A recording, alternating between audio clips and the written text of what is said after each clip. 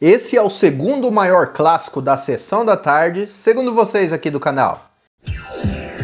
Matthew Broderick, ele armou um golpe para matar a aula. Eles caíram. E saiu aprontando todas. Curtindo a vida adoidado, nesta terça, na sessão da tarde. E falar um pouco do acidente gravíssimo em que Matthew Broderick se envolveu e vamos saber também se realmente Paul McCartney gostou do filme ou não.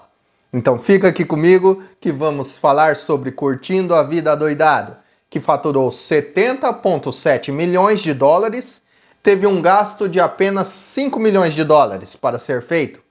Um grande sucesso e eu quero agradecer aos membros do canal por estarem me ajudando a produzir os conteúdos.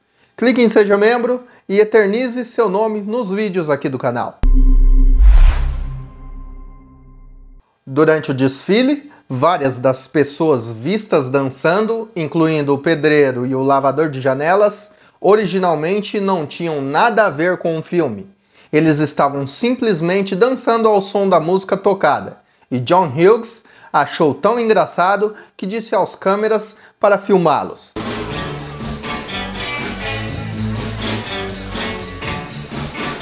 A ideia de uma sequência já existia há anos, com Ferris na faculdade ou trabalhando em algum lugar, mas a ideia foi abandonada. Matthew Broderick sentiu que o filme não precisava de uma sequência, que este filme era sobre um tempo e lugar específicos que todos nós gostaríamos de revisitar e não precisava ser atualizado. Por um lado, que pena que a gente queria ver mais o Ferris, né? Mas por outro, eu acho que pelos filmes que vem vindo aí de sequência, é melhor não mexer no que foi perfeito. Mas deixa aí nos comentários qual a sua opinião. Era melhor ter feito uma sequência ou não? Cameron, o que, acontecendo? Muito pouco. Cindy Pickett e Lyman Ward, que interpretaram os pais de Ferris, se casaram na vida real depois de filmar este filme. Mais tarde, eles se divorciaram em 1992. Listen, I'm going to get myself settled and I'll bring you a hot cup of soup. Para produzir o efeito drogado desejado para seu papel de viciado em drogas na delegacia, Charlie Chin ficou acordado por mais de 48 horas antes de filmar a cena. Devia gastar mais tempo se preocupando com as suas coisas e menos tempo se preocupando com seu irmão. A Ferrari do pai de Cameron não era uma Ferrari de verdade. Como era muito caro alugar uma, foram feitas três réplicas, usando um chassi MG, cada uma com uma carroceria de fibra de vidro. E mesmo não sendo uma Ferrari de verdade, o carro ficou top. Ferros, meu pai ama este carro mais do que tudo na sua vida. Um cara com esse tipo de prioridades na vida não merece um automóvel tão bonito. Mia Sara surpreendeu John Hughes quando fez o teste para o papel de Sloane Patterson.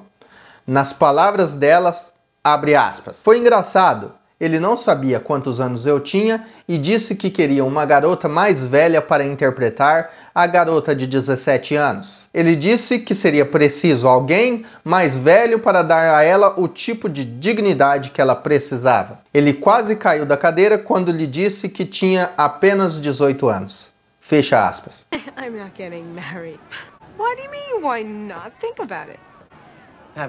Mesmo interpretando irmãos, Matthew Broderick e Jennifer Grey ficaram noivos depois deste filme. Tragicamente, aproximadamente um ano depois, após Broderick terminar de filmar Biloxi Blues e antes da estreia de Dirty Dancing, o casal se envolveu em um acidente fatal na Irlanda do Norte, onde os passageiros do outro veículo, uma mãe e filha, morreram no acidente. Em 2010, Ed McClurg disse ao Vanity Fair Magazine que o penteado de sua personagem deveria ser dos anos 60, porque Grace sentiu que ela parecia melhor e manteve sua aparência daquela época. No entanto, a cabeleireira feminina no set foi contratada principalmente para pentear o cabelo longo e liso de Mia Sara, e não sabia como fazer os grandes penteados dos anos 60. Então McClurg arrumou e estilizou o cabelo de sua própria personagem. Assim que ela chegou ao set, John Hughes olhou para o penteado dela e a primeira coisa que disse foi: Abre aspas. Quantos lápis você acha que cabe nesse cabelo? Fecha aspas. Eles sentaram com um lápis, depois dois e três, mas o quarto caiu. Então, essa foi a origem da primeira cena de Grace no filme, em que ela puxa vários lápis perdidos no cabelo. Eu gosto demais de fazer essas pesquisas. É cada coisinha, cada detalhinho que a gente acaba descobrindo, e eu passo tudo para vocês, hein? So we got four to stay without, you know, being seen by the camera or falling out if, if I leaned forward. A cena do desfile levou vários dias de filmagem. Matthew Broderick passou algum tempo praticando os passos de dança e estava com muito medo. Matthew disse, aspas, felizmente a sequência foi cuidadosamente coreografada de antemão.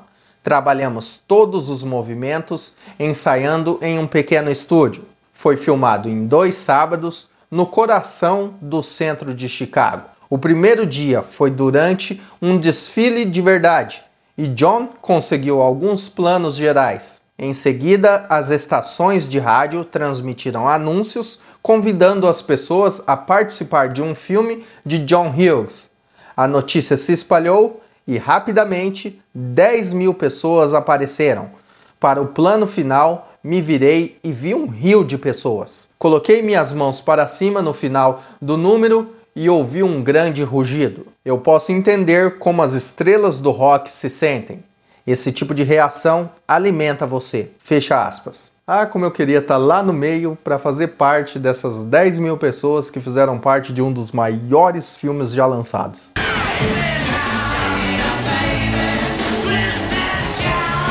John Hughes selecionou pessoalmente as canções para o filme. Ele queria que eles fossem um tanto obscuros para o público típico do cinema, sentindo que queria que tudo no filme parecesse novo. Por exemplo, a música ouvida quando a Ferrari é revelada pela primeira vez e durante a cena final é Oh Yeah, da banda suíça Yellow. A música não foi um sucesso no seu primeiro lançamento, mas após a sua inclusão no filme, rapidamente a popularizou, levando a um relançamento. Desde então, tem sido usada em dezenas de outras séries e filmes, muitas vezes em cenas como um objeto ou pessoa desejável sendo revelada.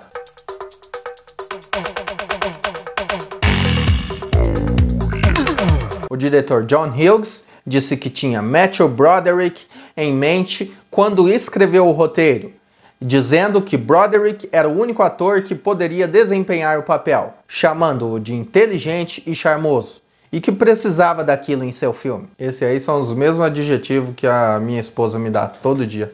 Sujo, um pombo pode fazer cocô em cima dele, quem sabe? Peraí, fica frio. A cena final na garagem foi gravada no início do outono então, cada uma das folhas de todas as árvores do lado de fora teve que ser pintada de verde à mão todas as manhãs antes de filmar. Ah, é agora que ele pira de vez.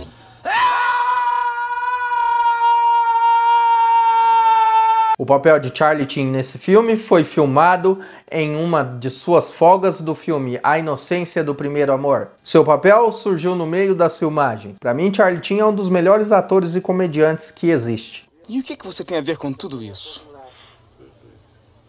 Por que, que ele vai matar a aula quando todo mundo é obrigado a ir? Embora Paul McCartney tenha admitido que gostou do filme, ele pessoalmente não gostou da sequência Twisted Child por incluir instrumentos de sopro.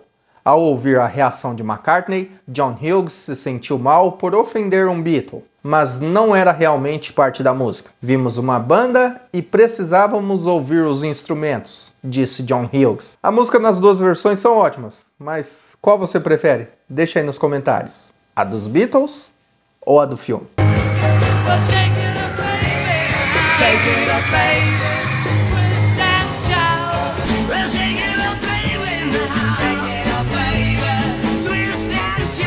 A primeira edição do filme teve duração de 2 horas e 45 minutos.